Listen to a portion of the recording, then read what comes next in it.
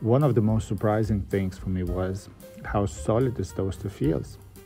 It is relatively heavy, which gives it stability. The buttons are not flimsy, and this clear visual adjustment of the timer is just so much better than just a dial.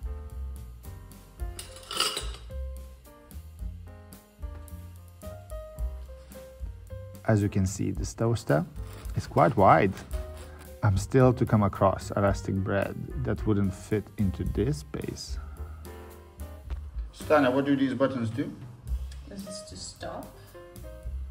This is to defrost.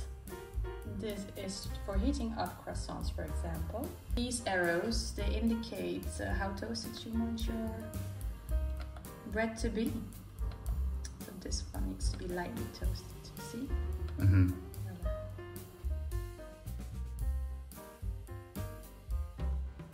also like that it is so slim. It doesn't take too much space on our worktop and I can just push it against the wall. Nice. Mm, so fragrant this one. Like perfume. These German Ritterwerk toasters come in white, black or red as a standard. These glass panels can also be personalized with your chosen work of art or a photo or even a hand drawing, anything that can be digitized. This kettle, by the way, is also coming from Ritter and hence uh, the kettle and the toaster could be color matched.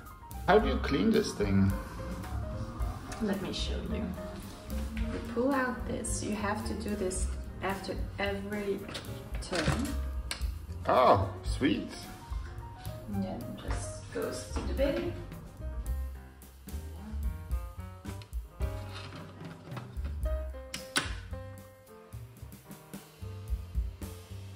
I thought to show off that I can make more than just a toast.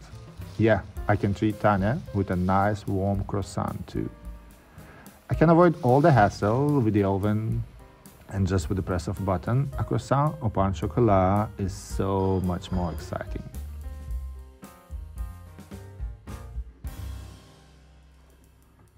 Okay, time for breakfast.